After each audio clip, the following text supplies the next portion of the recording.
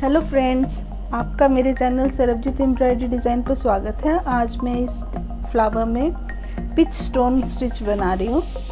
Flower को पूरा बना हुआ देखने के लिए वीडियो को एंड तक देखें। इसके लिए मैं यूज़ कर रही हूँ ये वाले थ्रेड्स कॉटन एम्ब्रॉयडरी थ्रेड्स है।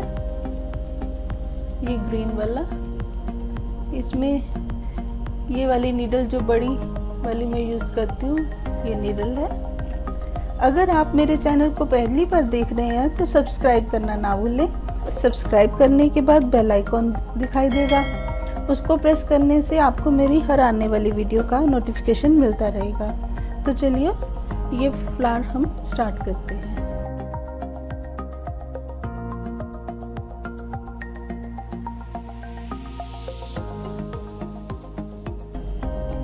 मैं इस तरह से ये डिज़ाइन बना रही हूँ।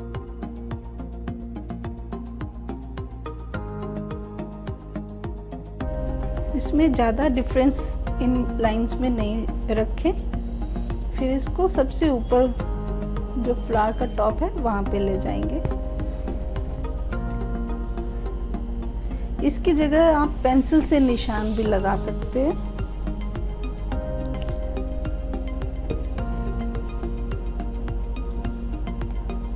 सेम एक ही जगह से हम इसको दो या तीन बार अगर ज़्यादा इसको हाईलाइट करना उभरा हुआ तो आप इसको थ्री टाइम्स भी कर सकते हो सेम पॉइंट से। और ऊपर वाला पॉइंट और ये धागे के नीचे वाला पॉइंट दोनों पे सेम पॉइंट पे हम इस तरह से बनाएँगे। और थोड़ा डिफरेंस रख के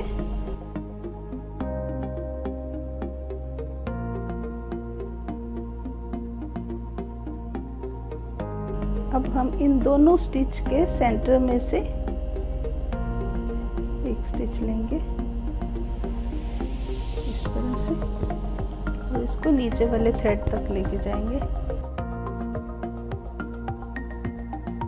फिर उसके साइड में इस तरफ़ से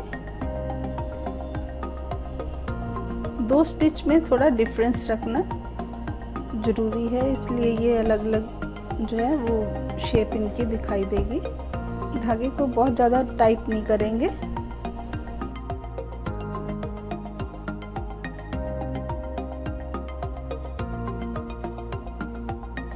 अब इसके सेंटर में से फिर नीचे की तरफ़ लेके जाएँगे।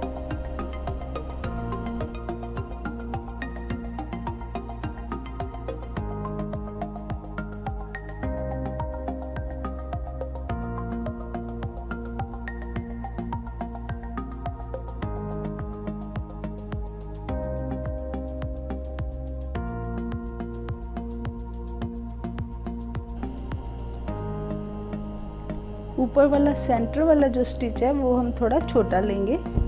जो ये बड़ा वाला स्टिच लिया है, उससे बिल्कुल हाफ़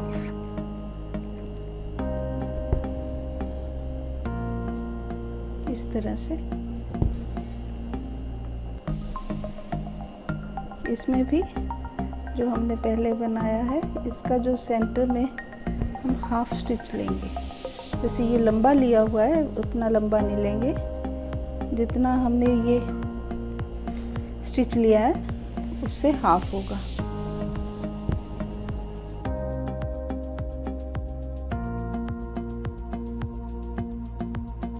इसी तरह से साइड में भी हम जो स्टिच लेंगे, वो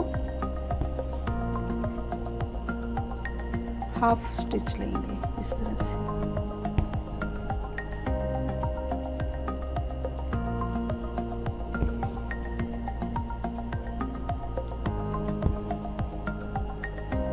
इससे आगे वाला जो स्टिच लेंगे, वो इसके साइड में से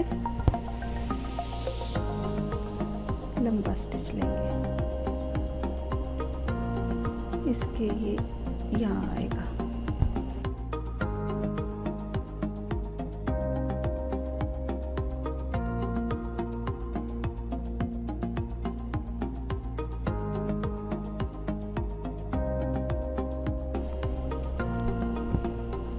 इसी तरह से हम तीनों लीव्स का ऊपर ऊपर वाला पार्ट जो है, वो वाइट कलर से फिल कर लेंगे।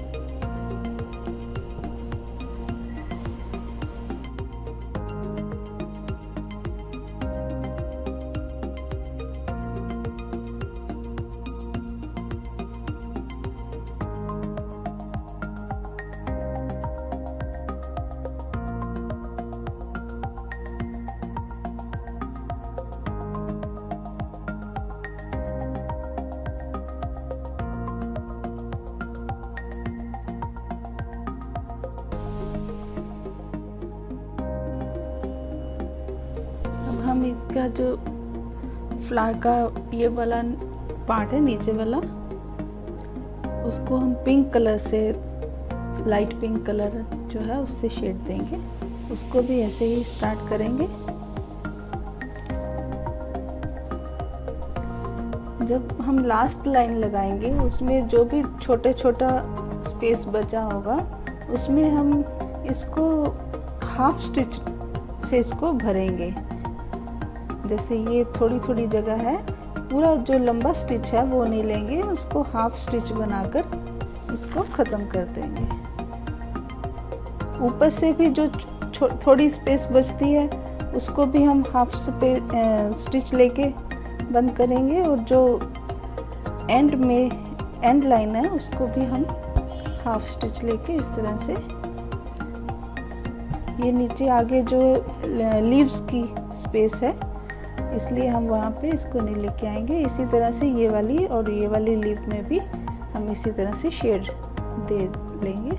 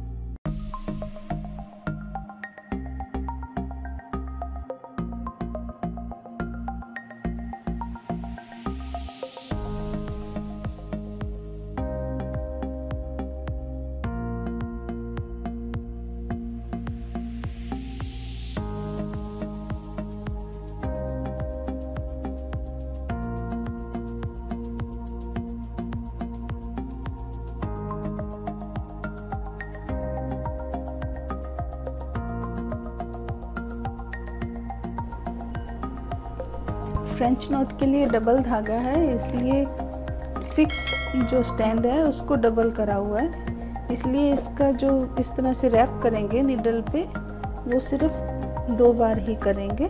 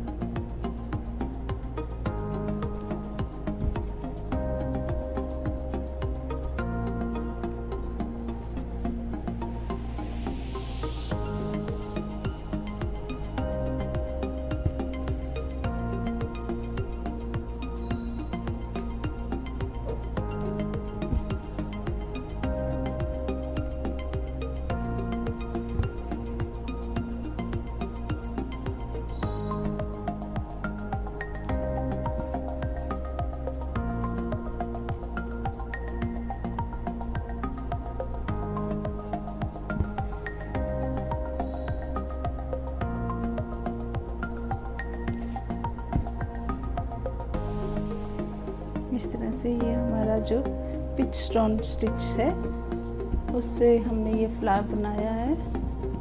उम्मीद है आपको मेरी ये वीडियो पसंद आई होगी। ऐसी नई वीडियो देखने के लिए चैनल को सब्सक्राइब करें और वीडियो को शेयर करें। अगर पसंद आए तो प्लीज़ लाइक ज़रूर करें। Thank you